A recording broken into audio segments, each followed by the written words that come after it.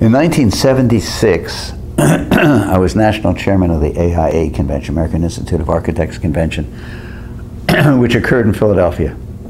Now, as I said earlier in this talk, unless you edit it out, I don't belong to anything. I'm not a member of anything. I'm not on the boards of anything. I'm not vice president of this or on this committee. No company has had me on the board. I don't belong to any faculties. I mean, on and on and on, right? and I certainly did not. I belonged to the AIA because it was what you you would just join. You were part of the AIA when you became basically a registered architect. 1976, I was younger. I'm 74 now, but seven, 1976 is a while ago, even for me, right? and I hadn't joined any committees in the AA. Didn't uh, I wasn't any anything in the local chapter. I wasn't a committee member or a vice president of anything. But I was a force to be reckoned with. And when the National decided to have their annual conference in Philadelphia because of the bicentennial, 76 in Philadelphia, they somehow couldn't, it's not that they wanted me, but they couldn't avoid making me chairman. They just couldn't avoid it. What they didn't understand was in the fine print of the bylaws of the AIA, which I read, the chairman actually has a lot of power. In the past, they chose a chairman sort of honorifically, and he welcomed everybody and introduced the keynote speaker and got invited to the parties and sit at the head table. Right? Well, it turns out the chairman really had power. Half the AIA, half the paid members of the AIA, were there to put on meetings and conferences during the year. That's what professional organizations do. They put on meetings and conferences. And I, as soon as I was made chairman and it was public, I said, I'm not going to have any meetings in any hotel. I don't care what your agreements are. I'm not going to have any meals in any hotels, and I'm not going to have the opening in the hotel or the the keynote or the closing party. So whatever deals you have, give them back the kickbacks you've gotten, and leave me alone. Okay. That didn't go over well, but I had the power to do it. So where was I going to have my 100 meetings and have all my friends like Jonas and all these people come in from around the country? It was, in a sense, my first TED experiment in 76, well before 84. I said to all my other friends in Philly, the heads of banks, the heads of insurance companies, the heads of all businesses that all had offices in Philadelphia at that time in the downtown, for the week of the conference, I want your boardroom. And I'm going to have all my meetings for 30 or 40 people. Give me chairs and give me snacks too.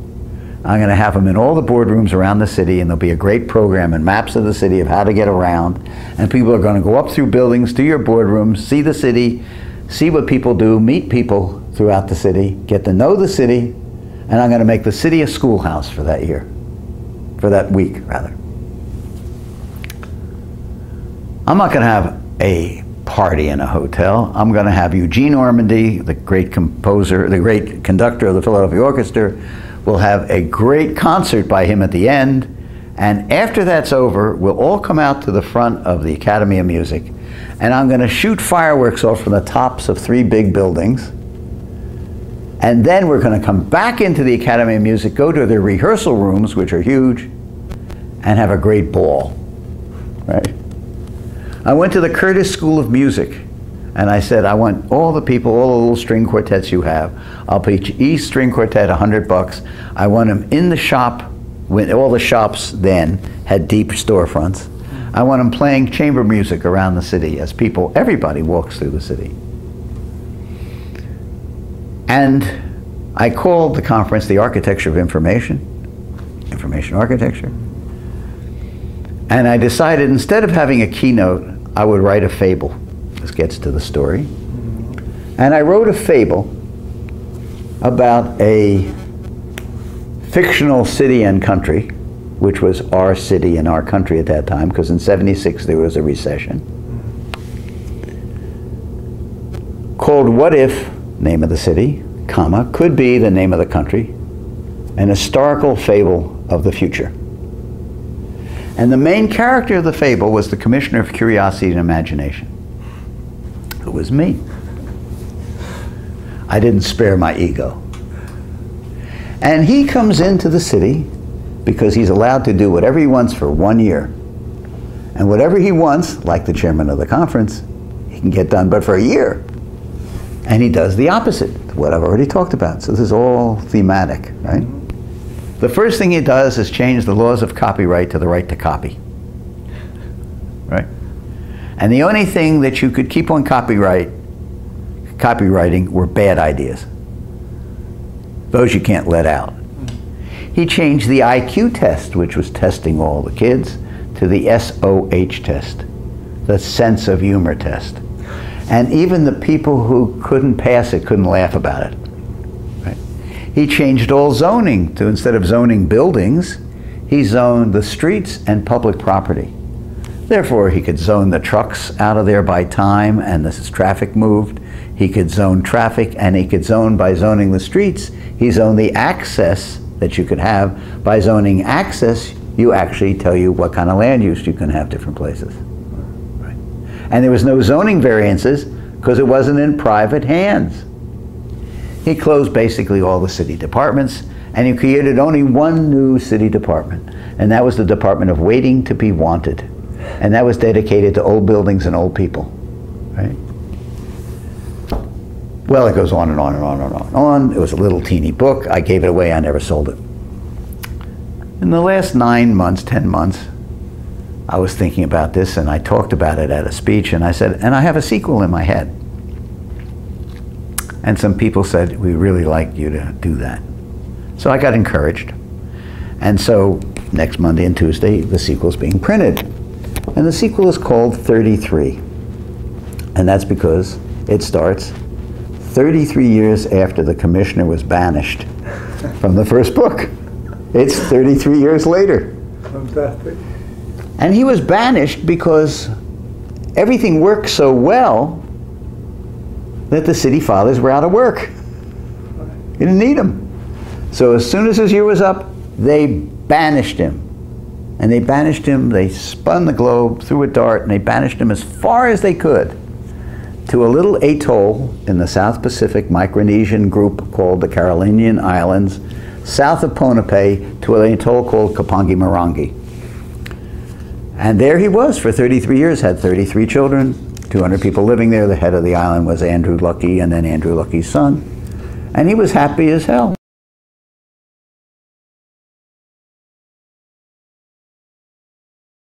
through uh, Facebook and this book and through connections and YouTube, the young people now, 33 years later, who weren't alive when he was around, go into his story and they want him back to help save what if and could be again because it's broken.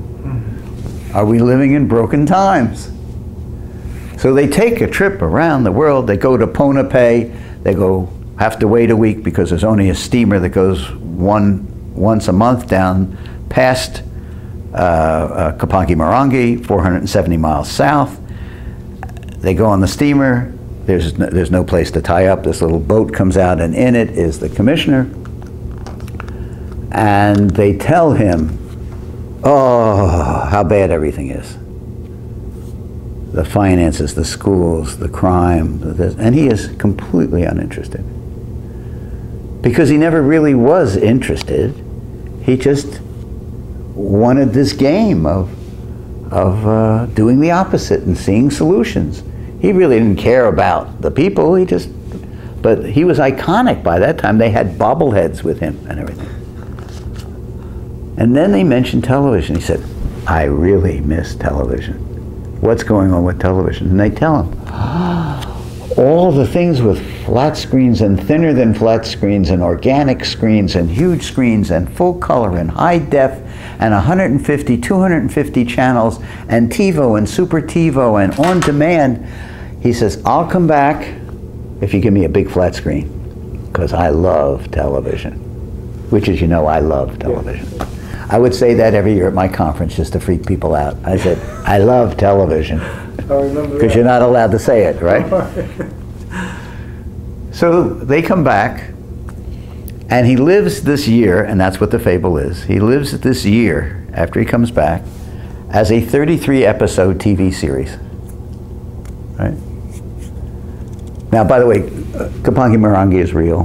Ponape is real. Everything I've told you is real. Mm-hmm. Okay? 470 miles is real. Each degree of latitude of 60 or 70 miles. That's all in the book. All these factoids are in the book, and it's all about science and stuff. It's all, it's all true. Of course, the story is not true. Uh, look up Kapingamarangi. They have their own language called Kapangi. One of the few, one of the. There's not that many languages still in the world. They used to be. And um, he goes through this uh, this year with all his ideas, and he has about these lies I told you, and he has about uh, just everything that's going on.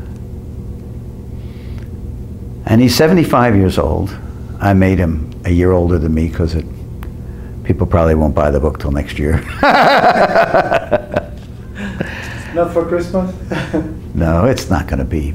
It's not. It's not a book for many people. We're not mm. printing very many. This is not. This is not my cause celeb. Believe me, I'm doing it just because I want to do it. Anyway. Uh,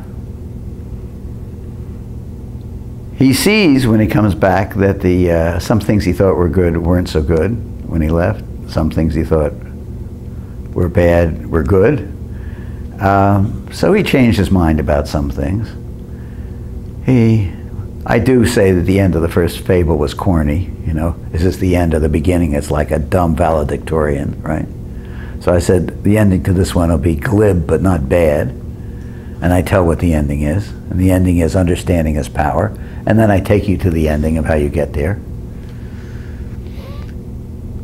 And he sees that somebody has uh, won the primaries as the new commander in chief, and that he's going to be put into office. And he doesn't meet him, but he sends him a note and says, I'm 75. Of course, he's known. Everybody knows him because he's iconic. And uh, time is more important to me than ever. And one of the first things I looked at when I came back commander in chief is I don't like our calendar. There's two months that are bad for several reasons. July and August are named for despots, Julius Caesar and Augustus. And by putting them in the calendar, we make September, which means seven, the ninth month, October, which means eight. Everything's out of order. December means 10, and we make it the 12th month. This is dumb. And I can't remember which month has 30 days or 31 days. So I've come up with a new calendar which I'm adopting, and I have the power to do this this year. And it's uh, every month has 33 days. 33, mm-hmm. name of the book. Yeah. And I'm going to create one new month after December, which is December is now the 10th month. So the 11th month is going to be called Remember. And that's a month of public service where we remember our parents, the people who helped us, the people less fortunate than ourselves. It's a month of public service. And then we only have two days left over, and it's right around New Year's. I'll call it Bender. and leap year, we have a three day bender. so, the Commander in Chief gets inaugurated on the 33rd day of January. So, the Commissioner fills out his year in office.